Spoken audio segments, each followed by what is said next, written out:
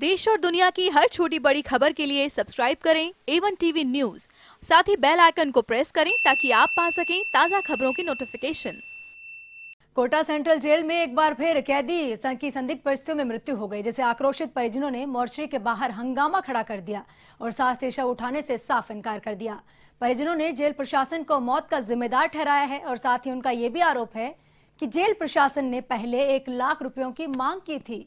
जिसकी कलेक्टर से शिकायत भी की गई, लेकिन उसके बाद भी कैदी की जेल में संदिग्ध अवस्था में मृत्यु होना एक अपने आप में बड़ी बात है। मृतक के पिता ने कहा कि जब तक जेल प्रशासन के खिलाफ कोई उचित कार्यवाही नहीं होगी, तब तक वे शव को यहाँ से नहीं उठाएँगे।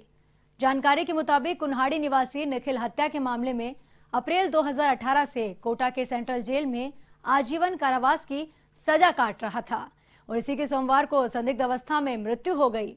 आपको बता दें कि कैदियों के साथ मारपीट नहीं करने के बदले पैसे मांगने के लिए जेल प्रशासन पहले भी कई बार इस मामले में घिर चुका है।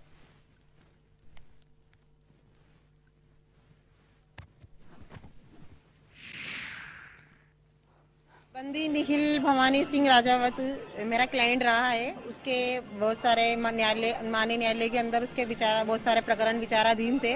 उसको न्यायालय एडीसी क्रम पाँच द्वारा 307 के मुकदमे में एलाई हो रही थी, जिसके अंदर वो केंद्रीय कारागार कोटा के अंदर न्यायिक अभिरक्षा में चल रहा था। उसके परिवारजन का ये कहना है, उसके पिताजी का ये कहना है कि निखिल भवानी की कोई नेचुरल मौत नहीं है।